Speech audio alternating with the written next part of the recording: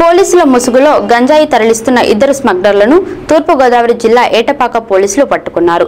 ఏటపాక మండలం లక్ష్మీపురం వద్ద అరెస్టు చేసిన ఇద్దరు గంజాయి స్మగ్లర్ల నుండి యాభై ఏడు కిలోల గంజాయిని పోలీసులు స్వాధీనం చేసుకున్నారు.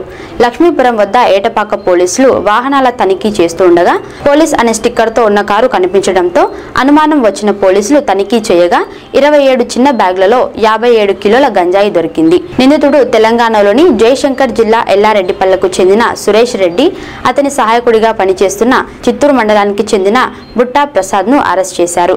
తెలంగాణ ఏపీ సరిహద్దుల్లో ఎస్పీగా పనిచేస్తున్నానని సురేష్ రెడ్డి పోలీసులను మభ్యపెట్టే ప్రయత్నం చేశాడు.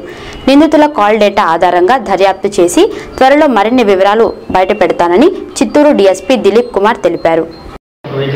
పోలీస్ బోర్డుతో కనబడింది సో వెయిటింగ్ చెక్ ఉంటుంది ఆపిన తర్వాత మనకు చెక్ చేసిన తర్వాత దాంట్లో దొరికింది వెహికల్లో దొరికింది almost about fifty seven KGs తర్వాత ఫిఫ్టీ సెవెన్ కేజెస్ అంటే తర్వాత డ్రైవర్ అండ్ డ్రైవర్ అండ్ ఇన్సెక్టివ్ ఒక అతను కూర్చున్నారు.